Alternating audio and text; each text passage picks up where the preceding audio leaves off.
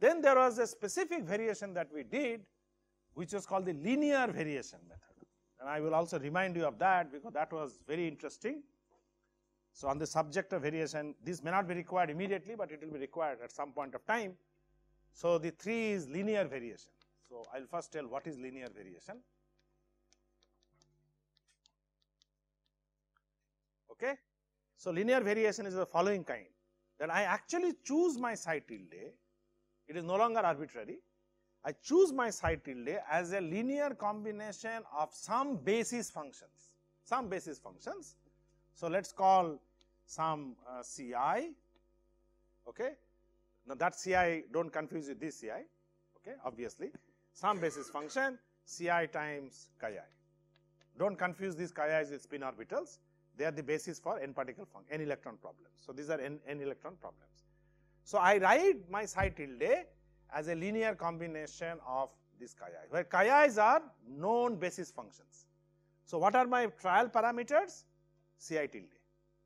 So, basically what I am doing, I am changing this Ci tilde in a known basis and generating different Psi tilde and then seeing what happens. Obviously, if my basis is complete, which means it is an infinite dimensional basis, then I go back to the theorem 1 Euler variation, which means I actually get exact solutions. Remember the Euler variation, the exact solution. I have already discussed such a case when these are determinants, full CI. So, if I have an infinite basis and take all determinants, okay, then I will get exact solutions which I already told you full CI, which will give you exact wave function and here I will get depending on the coefficients all exact solutions. Okay. Just for just that you do not get confused with this chi, probably I should use a different determinant some di, okay, just to show that they are determinant. So, these di's are nothing but the determinants generated out of chi. This can be one, one example generated out of the one particle basis.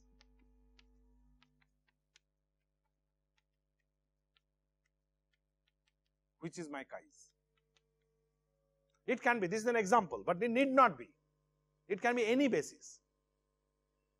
But I am just trying to tell you that in case this is complete, then quite obviously I do not have to go through whatever I am telling you. You can directly go to the theorem 1, Euler variation, because then I am scanning psi tilde over the entire Hilbert space, because my DIs form the entire space and then quite obviously all stationarities of psi tilde H psi tilde will be one of the eigen solutions of H, which I actually mentioned without proof for the theorem 1. What is interesting of course is not that. What is interesting is that what happens when I do not vary over the entire Hilbert space. Just like I did here a proof, what happens? Clearly theorem 2 would exist then, that whatever happens, this quantity would certainly be equal to E naught, right? greater than or equal to E naught. Again, assume psi tilde psi tilde is 1. In many of the cases for proof, we will always assume the normalization, so do not worry. So, theorem 2 will obviously hold good, because that is greater than 1. Theorem 1 will hold good only if it is complete. Theorem 2 will always hold good. In case of complete, it will become equal to. Otherwise, of course, it will become greater than the exact ground state uh, energy. So, then this is certainly holds good. Why am I talking of linear variation then if it is just a, to tell you highlight you theorem 1 and 2? No. There are certain more interesting results that we may get when we have a variation involving such basis, such linear combination of basis and that is what I will first state. Again without proof I will first state, if you do this calculation of psi tilde A psi tilde, okay, assuming that again it is normalized and, and do a stationary calculations. So, you analyze the stationarities of psi tilde A psi tilde. If you do that, then if this is a m dimensional basis or let us say k dimensional basis, okay, then first of all what I will get is that I will get k solutions.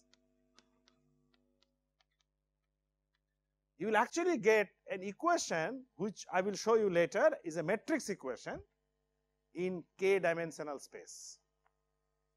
In fact, right away you can now see that the configuration interaction that I discussed can be easily done using this for a incomplete set of determinants. That is, if I do not take all MCN, I take a few of them, then exactly this is going to hold good for configuration interaction because, because it is incomplete set. So, if I have k number of determinants or k number of bases, again when I am saying determinants is an example, it can be any basis, then this will give me k solutions. That is very important first to note. How it will come to k solution I will show later. k solutions and let me order those k solutions as E0 0 tilde E1 tilde E2 tilde etc where this is less than equal to this. These are as far as the solutions are concerned. Remember they are not exact solutions now because I have a k dimensional subspace so they cannot be exact solution correct. So they are they are they are not of course exact solution yet each of them must be greater than or equal to E naught that is also clear from the Rayleigh Is it clear? Because theorem 2 of course holds in this case. So I order the solutions that I get out of the linear variation in this manner. What is interesting to note in this case is that obviously this E naught tilde which is the lowest among the solutions is going to be greater than E naught and, and all others are also going to be greater than equal to E naught which is needless to say. But what is more interesting is that the second solution E1 tilde is also going to be greater than equal to E1. And in fact, if I go forward E2 tilde will be greater than equal to E2 and so on. So, all the finally the Ek tilde would be greater than equal to Ek. This is remarkable because now we are not talking of just greater than equal to E naught. Of course, if something is greater than equal to E1 or E2 or Ek, it must be greater than equal to E naught. That is needless to say because E naught is the lowest. But now we are saying how much greater that the second solution must actually be so much greater that it must be greater than the first excited state energy. The third one must be greater than E2.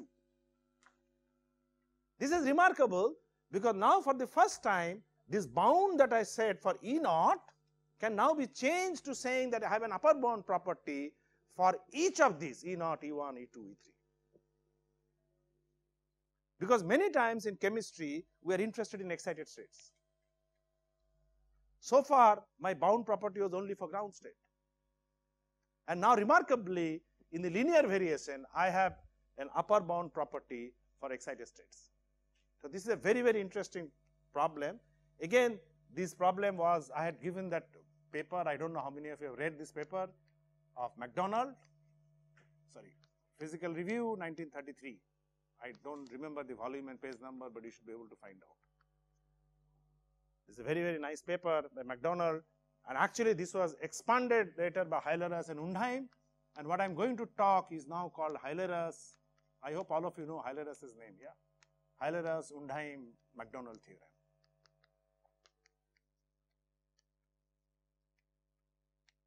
Okay, that is the theorem that I am going to state. This is a part of the theorem. There are some parts of the theorem. So, the first part is that each of the solution is greater than its corresponding corresponding exact solution. Exact solution. These are exact solution. The tildes are variational solutions. So, I am using tilde for trial function as well as variationally optimized function. This is after variation. So, from here I do a stationarity that is important. Only after stationarity whatever I get they must all be greater than or equal to its corresponding exact solutions. Is it clear this part? So, this is of course much more powerful than just the Rayleigh statement because Rayleigh statement only talks about great being greater than equal to E naught. It does not say what solutions will be greater than equal to E1 or E2. So, here I can get the solutions. I will let you know how to get the solution, these k solutions uh, this is basically some matrix eigenvalue problem But if you solve these, then whatever you get by stationarity, uh, stationarity essentially means you expand this i tilde in this uh, basis and make this ci tildes stationary as the first order change of this becomes 0. So, that is always the meaning of stationarity, right. First order change is 0. Do that calculus, you will get some results and this is what you will get. Yes.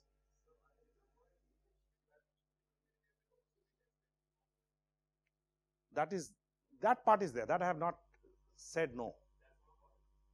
Well, it, it, this part is correct. That, that I am going to come next. Because this part does not say this. This part just says that they are each of them is greater than equal to its corresponding state. So, that is the next statement. Okay. That depends on how many states you have taken and so on. Okay.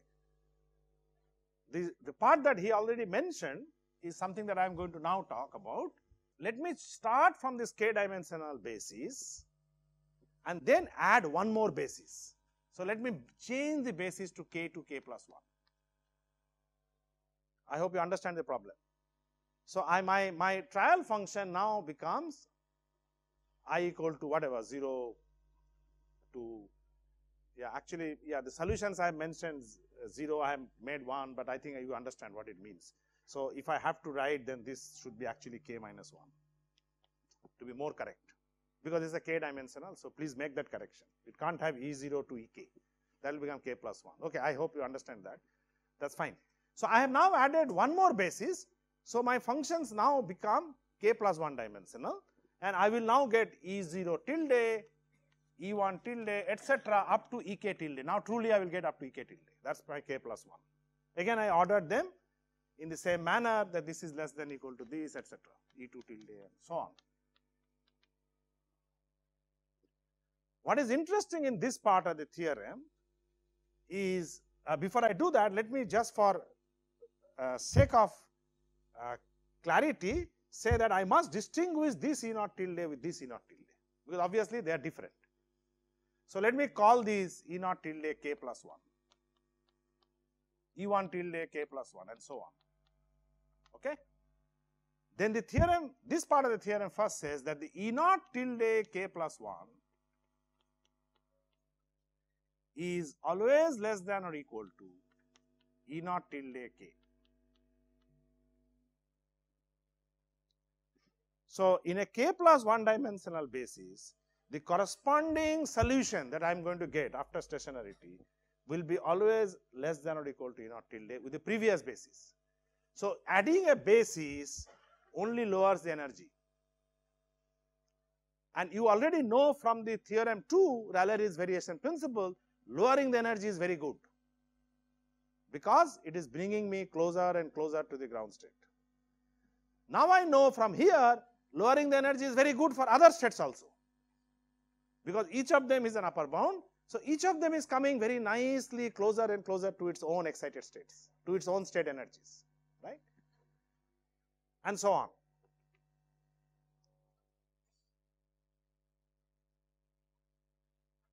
So, I hope this part is clear that, but please remember when I compare this, this is an addition of one function.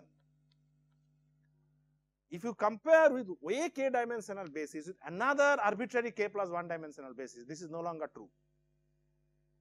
This, this means that I must take this basis and only add one more. I can't change that basis, then only the theorem is true. So, if I add one more function, then all the numbers will become will decrease. All the numbers will decrease compared to the previous number, but interestingly they will all be an upper bound. So, they will never cross. So, what does this together mean? So, this is my E naught, let me just do a simple calculation. This is my E1, this is my E2, okay, and this is my E3. Let us say initially I do a three dimensional calculation. Okay? So, I will get my E naught tilde somewhere here. I will have to get a E1 tilde which must be higher than this somewhere here. So, this is my three, three dimension, uh, this is my okay, three dimensional basis. I have total four solutions and then I will get E2 tilde which will be higher than here, but not necessarily here. Now that I do not have a fourth solution, this can go anywhere. Okay, this can go anywhere. But when it stops here, I do not care whether E2 3 is here, in between E2 E3 or here. It has to be only greater than E2, right? However, let me let me add one more basis to this. Uh, let me add one more basis to this. Then I will have my E naught tilde 4 here, which must low, lower. This must also be lower, and of course it cannot cross. This also must this whatever wherever this E2 tilde 3 will now also low will actually come down and this will come in between. What is interesting is it will come in between E2 and E3 and somewhere here we will go to this. So, this is 4 or this is 3 of course, this is E2 tilde 4 okay and this will become E3 tilde 4. Again it can go anywhere. This structure was ensured by a very interesting theorem that MacDonald proposed in that paper and that is called the separation theorem.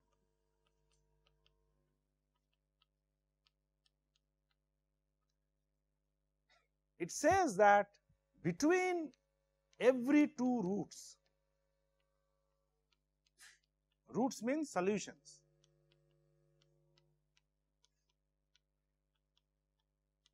solutions to this problem variational problem lies one and only one exact solution.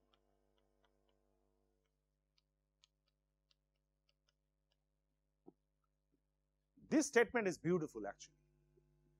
It now means that when I do 4, E2 tilde 4 cannot be here. Initially I said E2 tilde 3 can be anywhere. It cannot be here because between these two roots there must lie one root right. So, once I do that the last one can be anywhere, but moment I put another solution that one will come down. So, between these two roots E naught tilde E1 tilde there is one root here. Between these there is one root, one exact solution. Between these there must be an exact solution. So, this must not cross E3. I hope you understand. When I do a 4 dimensional basis, this cannot cross E3, exact E3, E2 tilde 4. So, this must be below because in between there must be a root, must be an exact solution.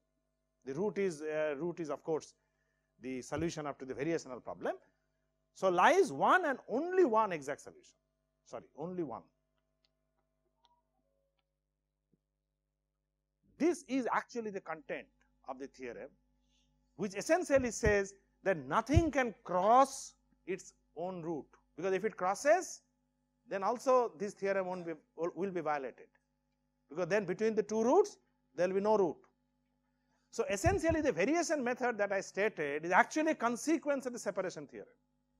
What MacDonald did was actually to prove this theorem. Many times this is called interleaving theorem. Many, many places you might have it. Interleaving means essentially you understand what is interleaving. There are two leaves and in between there is one exact solution. So, it is an interleaving theorem or separation theorem and this actually comes directly from here. So, for example, I go to a simple two root problem. So, in a two basis, so I have E0, I have E1. So, just to show. So, this is of course E naught tilde 2 two basis problem. So, this will be greater, it will be somewhere and then there will be E1 tilde. The point is there must be one root between them. So, that is the reason if this is between E1 and E0 that is all you have to ensure then of course, the E1 must come here. So, then this automatically becomes an upper bound E1. And then if I increase the basis the next one will be automatically upper bound E2. So, the upper bound property that I, that I actually explained is a consequence of the separation theorem. Okay, and that is that is very most important thing.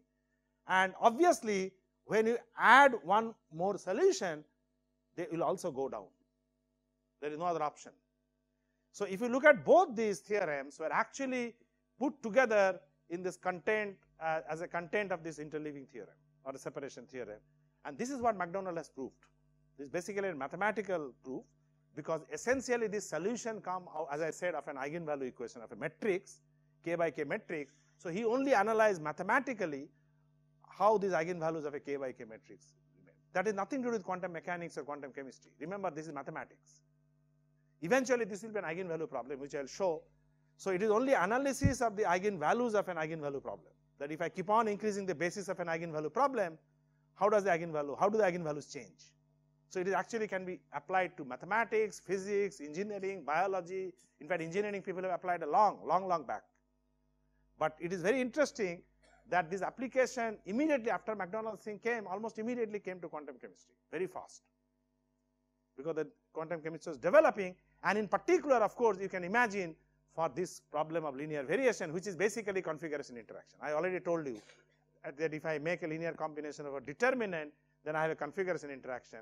So, to the CI problem, this will be actually used.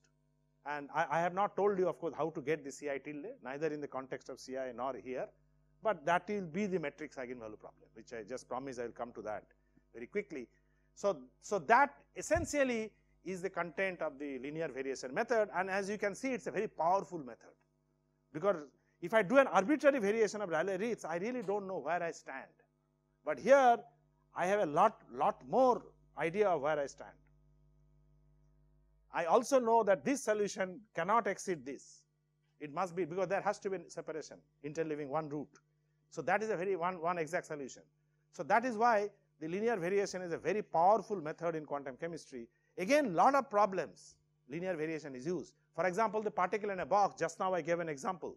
C m n x to the power m x minus l to the power n. That's a linear variation problem. Please understand. Except except that the basis is not normalized. Please remember, my basis is normalized. I, I have to again mention here. So, it will not be an exact eigenvalue equation there, there will be a some kind of a change, but basically it's, it's not very difficult to renormalize. You can always go to a renormalized basis which is orthonormalized from there and then do the problem. So, if they are normalized then the solutions come out very nicely. And this will be the content of how to get the solutions in any of the linear variation. And I will, I will just show, I have 5 or 10 minutes, I will actually show that how this, these case solutions turn out to be an eigenvalue equation. So that I complete this part of the variation method. Okay. I think I am not going to discuss too much about variation method because next class I want to go into the actual Hartree-Fock, Hartree-Fock method, okay, Hartree-Fock theory. All right. So, I come back to this linear variation very quickly and tell you now how to get the solutions and because I have been talking of the matrix, matrix, matrix. So, we must know. So, what we do? A simple way, so basically what we want to do is to find out such, find out uh, the, the average value of psi tilde a psi tilde, the first order change should be equal to 0. So, that is basically the, the content of the variation method. So, I must put this here on psi tilde on this side, psi tilde on this side and make them equal to 0. To do that of course, I must ensure that the DIs are normalized. Okay? So, if I do this, let us write down the Lagrangian which I am subject to this condition. So, what will be the actual um, statement that this minus some ij lambda ij di dj minus delta ij, right. So, this is what is called the Lagrange variation. I hope all of you know this is the variation under constraint. So, I am varying this under the condition that di dj minus delta j should be 0. I think I have done this many times. So, this is what I am actually going to vary.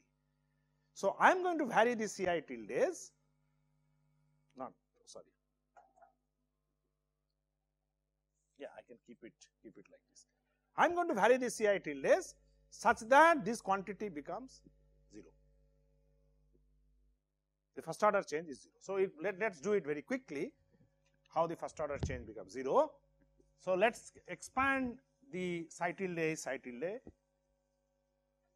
I had already done this expansion once in proving the Rayleigh-Ritz variation principle. So, it is the same thing sum over i j Ci tilde star or yeah whatever Cj di dj.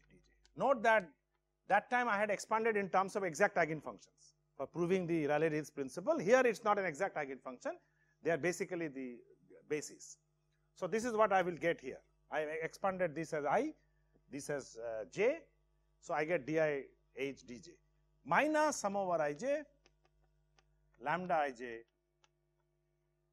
di dj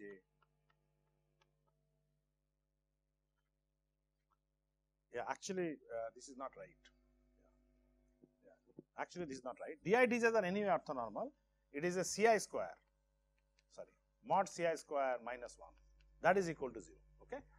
So it should be ci star ci minus 1 into lambda ij because obviously I told you that if these are orthonormal essentially the condition is that this must be square of this must be equal to 1 okay. So, Ci, Ci star Ci alright. So, now what I do I vary Ci star first order variation and then find out what is the change. Or I can actually differentiate this expression with Ci tilde star. Either way it is okay. So, if I do this this differentiation uh, again of course if I put this then there is only one condition I do not need to write lambda ij I can simply write this. Sorry. There is a mistake here. In the very first place. So, I can simply write as a lambda because there is only one condition mod ci square equal to 1. So, there is only one Lagrange parameter. Okay. So, now if I vary with respect to ci star what will you get? You will get cj times di h dj. Note what I am doing is this is my Lagrangian I am varying this Lagrangian with respect to delta Ci star. Either delta Ci star or delta Ci, does not matter, only one of them. So, you have a sum over j, Cj diH dj minus lambda times, this is sum over i, okay. This is sum over i, lambda times Ci equal to 0. It is very easy to do this because lambda time 1 will not contribute anything when I do Ci star Ci, one of the summation is Ci, so I differentiate only Ci will remain. Here there is a double summation, so when I differentiate Ci star, Cj will remain with a single summation. So the entire thing will now become di h dj times Cj sum over j equal to lambda times Ci for all i because I have to differentiate for all i. Okay? So, I am sorry for this uh, little mistake here on the con constraint. So, that is why there is a little confusion. There is a sum over i Ci star Ci minus 1. So, that is and there is only one condition. So, I need only one parameter. This obviously as all of you can recognize is a matrix eigenvalue equation. You construct this element matrix element and call these are numbers right. So, call this as a matrix. So, you arrange them in the row i column j. So, it is a two dimensional matrix because when I integrate this basis Hamiltonian with this basis di star dj, I will get number for each ij. So, eventually this is a matrix equation. So, it is a d let us say hij or whatever I call it cj equal to lambda ci. So, let us call this matrix as a hij. So, this will then become sum over j hij cj equal to lambda ci and all of you know that this is basically a matrix eigenvalue equation. So, that is a matrix, this is the column of C's which I am trying to find out, this is the column of C's that I am trying to find out equal to the eigenvalue times one number and this is for all i. So, obviously, I am going to generate the full set and then you have to solve this equation. So, this is how you actually get these k solutions. Obviously, if I have a k by k matrix, how many eigenvalues are there? k eigenvalues. Again, all of you know from the mathematics. So, if I have a k by k solution, I get k number of lambdas. I have written this equation for one lambda, but you have actually k number of lambdas and eventually these coefficients can become a square matrix and I can write a different form and I have shown this also how to write matrix eigenvalue. So, matrix eigenvalue equation is very important, huh? please read it, revise it. So, one of the revision point those who are revising must be matrix eigenvalue equation properly. Uh, we have done this very thoroughly. If you do not understand matrix eigenvalue equation, it is very hard it will keep coming in quantum chemistry in different forms. Okay. So, the CI problem that we have been discussing which is basically linear variation is nothing but solution finally at the matrix eigenvalue equation. All you need to do is to calculate these matrix elements. The matrix element of the physical Hamiltonian in the basis, whatever is my basis, okay, and then diagonalize that matrix. Okay, so that is basic recipe to get all the solutions, and and this particular way of writing, the way I wrote here, uh, expanding psi tilde and psi tilde left, right like this is something that I showed for Rayleigh-Ritz principle, but there of course these were exact eigensolutions. That was a formal basis, formal expansion to show that uh, the, the upper bound theorem with respect to E naught. Here it is a basis, so of course these numbers have to be computed. These are not the eigenfunctions of the Hamiltonian. Please remember, I again repeat, many people get confused. These are any basis. So obviously the, these are not eigenfunctions. If these are eigenfunctions of the Hamiltonian, I would not do this. My d's are already eigenfunctions, right? So I expanded that time psi tilde in terms of eigenfunctions only to show the upper bound principle. Of course, I do not know the eigenfunctions. So these are some bases in which you calculate this matrix element and then solve an eigenvalue equation. And then you will get all the k solutions of the linear variation problem and they have this property that I mentioned, the separation theorem. Each of them is an eigenfunction, is upper bound to its own exact solution, corresponding exact solution. And uh, of course, if I increase, they all change values, they all become lower and lower. Huh? So, entire content is what is basically given by the separation theorem. I think with that we will leave the variation method. Now, we are going to apply the variation method to the to the derivation of the Hartree-Fock, okay, Hartree-Fock equation. All right. So, I think we will close the class today.